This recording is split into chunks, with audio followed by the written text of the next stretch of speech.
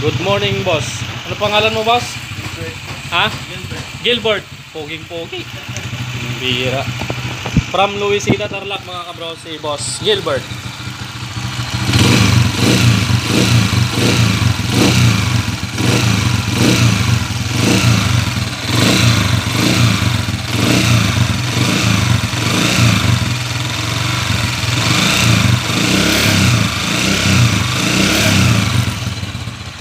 Yung motor niya, gwapo.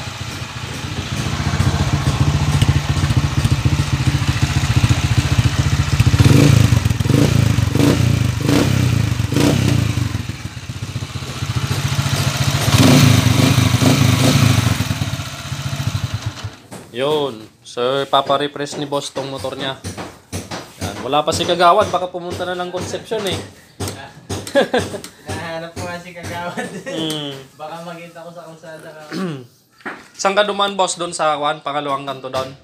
Dito lang Nadaanan mo yung nagbabak ko dyan? gas station. Ay, gas station lang. Ayun, sa... Hmm, sige, i-refresh natin tong motor ni boss. Bababa natin para makondisyon. TMX 155. Anong model to boss? 2011 yan. 2011. Nababa na ba to dati? Hindi pa.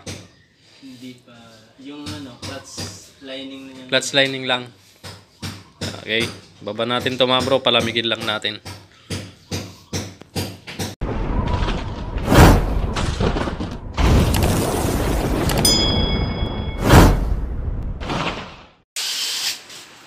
Okay, nabaklas na po yung makina at naibaba na. At habang binabaklas po ni Brother Lito, hindi mo may paliwanag yung itsura niya. Tingnan mo, Baho eh. mababa. Baho siya eh. Ayan, mabaho daw mga kabro. Ah, tignan mo yung ibabaw ng piston, basang-basa ng langis. At napakalinis ng piston nyo. Oh, ibig sabihin, nababasa ng langis, nahuhugasan. Kaya hindi ganong kaitim. Yan.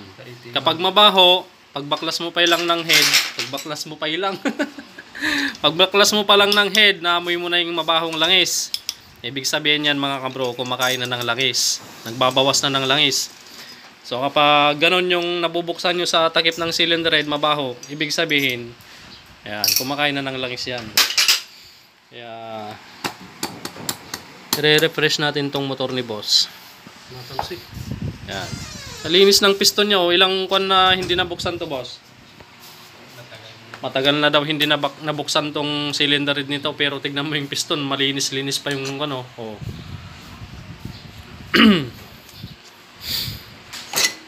Yun, malinis. Tingnan mo nga bro, may kanal na dyan sa top dead center niya. Kung wala naman, Wala naman. piston ring lang. Yun nga, pakapa nga din, pasalat nga din. Wala naman. Okay naman. Wala bang gas-gas bro? Check mo lang. Sige, check natin mamaya. Wala naman. Sarap kinis naman. Yan. Papalitan na rin natin yung timing gear niyan. Maingay na yan. okay. So, pakita namin sa mamaya mga bro yung mga papalitan natin pag nabaklas na tong makina. A few moments later. Okay, makalipas ang isang oras.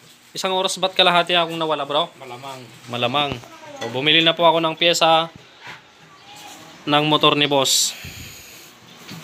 Yan, tappet screw na Skygo dahil mahigpit na yung kanyang pinagchuchunapan. Pangit na yung kanya, ito yung before niya, yung crankcase. Maitim na yung crankcase mga bro, yung loob. At ito yung after nung kabiyak niya. Yan, malinis na. Ready to assemble na yung mga transmission mga kabro. Piston ring, standard mga kabro, RIK. Clutch damper, ah, bagong clutch housing, na Takasago brand, dito po yun oh. Dahil yung kanyang clutch housing, yung stock na clutch housing ni boss ay grinder na daw ito. Lumuwang na.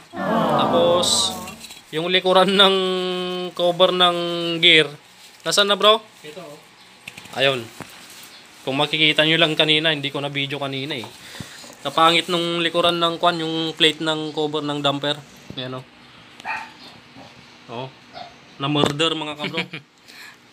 oh, na- minorder ng unang nagpalit ng damper. Kaya pinalitan na namin ng housing, clutch damper.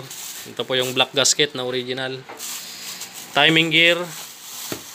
Magaspang na rin yung andar.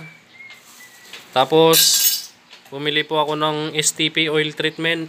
Panghahalo natin dito sa langis niya mga bro. Sa isang, sa isang litro, lalagyan natin ng apat na takip nito. Yan, hahaluan natin para kwan. Ang sabi niya dito, Tapos isang plastic ng Jollibee. Yeah. Tapos isang plastic na Jollibee burger. Yan, libre ni boss yan. Yan, from Hacienda Luisita. Ito po. Oil treatment. Sabi niya dito, Nasaan na yung sinasabi niya? Ayan o. Directions, add one bottle to 4 to 5 quarts, sabi niya, of oil at or between oil changes. Kada mag-change oil ka, yung bagong langis, haluan mo ng apat hanggang limang takip. Para smooth yung andar mo. Kaya lahat ng gumagalaw sa loob ng makina mo, mapoprotektahan niya at may pampadulas na rin siya. Bala na. Ah, bagong valve seal, ang inilagay lang natin dito GB4 na valve seal na original. Yan, para makatipid kayo ng konti. Original din to mga bro. Pang XRM, Wave 100, yun yung mga ginagamit tong mga to. Pero sa TMX 15, pwedeng pwede din to para kwan. Makatipid kayo ng konti. At medyo mas masikip pa ng konti yung butas nito. Tapos, carburetor repair kit, SK. At yung kanyang spring kick. Yan, bagong spring kick original. So, yan po yung lahat ng pyesa ni boss. Side gasket na original. Tapos, center gasket, SK brand, naubusan ng center gasket na original. Nagalit pa sa akin yung pinagbibilian ko. Wala na akong center gasket. Inubos mo na, sabi niya.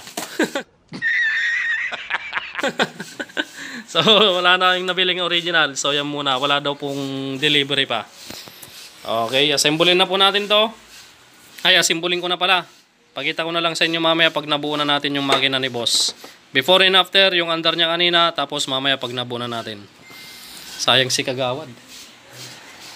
May burger pa naman dito, Kagawad. Pag di ka pumasok, wala, hindi mo matitikman to. Hmm. Okay, assemble na tayo. Okay, bago natin isalpak yung cylinder head mga kabro, eh, share ko lang yung diskarte dito. Isa rin sa nagbibigay ng lagitik to mga kabro.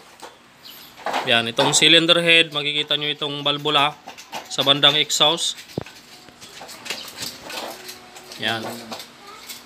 Yan. Ito, lagi nyong i-check to, lalo na pag gumagawa kayo itong dulo ng balbula. Yan. Pag nakita nyo yung dulo ng balbula mga kabro na may parang tama na, tapos medyo malalim na kagaya nito isa yun yung nagbibigay ng lagitik kaya ang gagawin natin dito hindi tayo bibili ng bagong balbula kasi original to eh yan mahal ang balbula nasa 950 isa or more pa kaya ang gagawin natin dito pagkikinisin lang natin yan gamit ang yan liha yung bala ng kwan, pang port. Yan. Pakikinisin lang natin.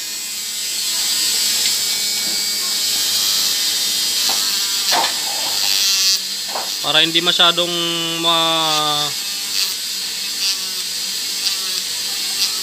mapagastos yung bulsa ni boss. Yan. Pakikinisin lang to. Oh, may technique na naman ako na sinir sa inyo mga kabro ha. Para makatipid kayo.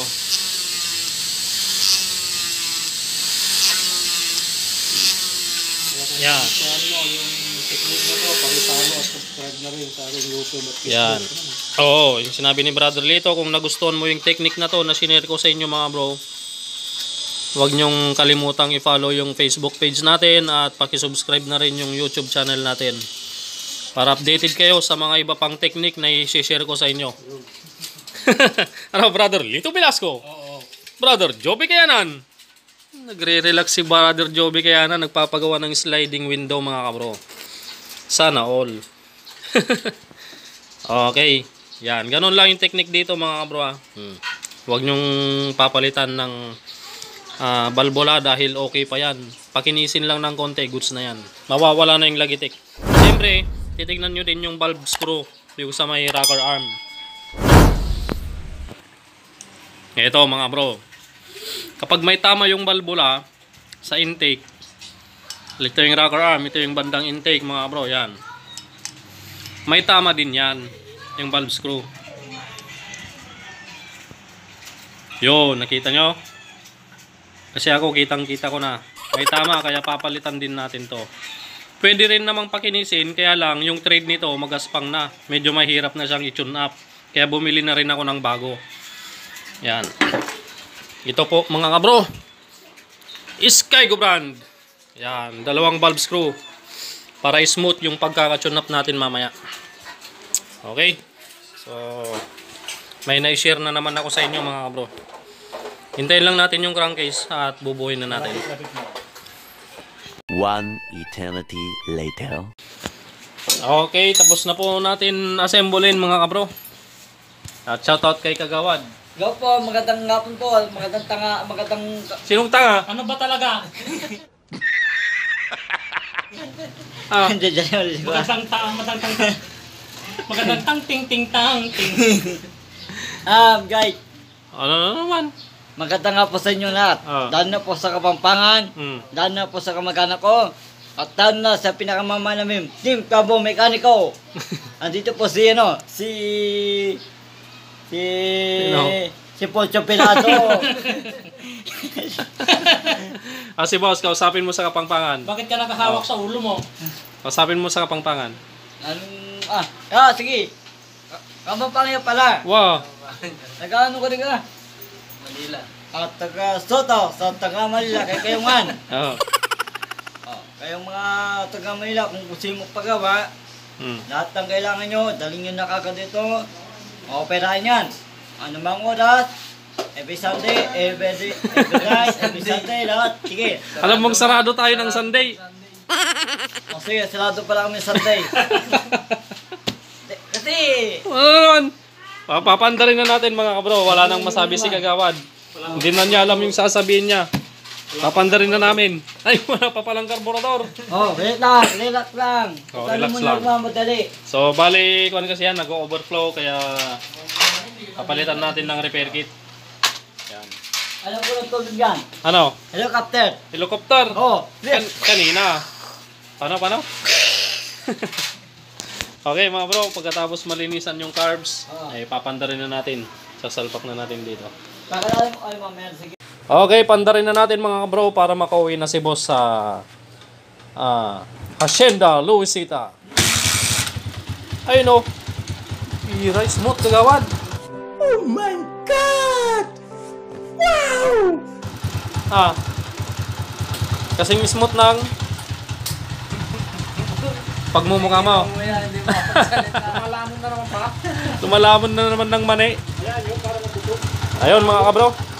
So, napaka-smooth na na ulit. At hindi kagaya kanina mga kabro na may magaspang, may halinghing at lagitik.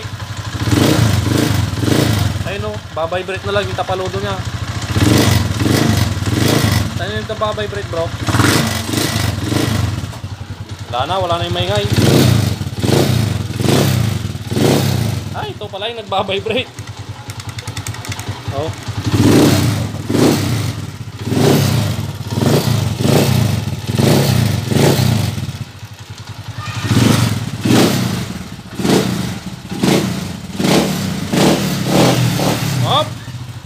Suneo, ikaw ba yan?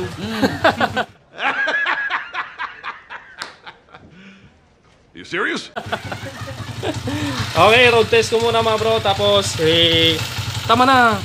I-readjust ko na lang to. Bali, chuchun up ulit. Tapos, check natin yung langis na umakyat. Yan, road test muna.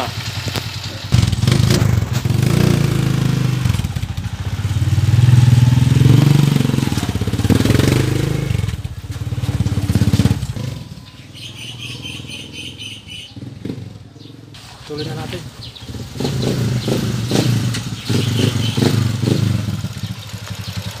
Readjust, readjust.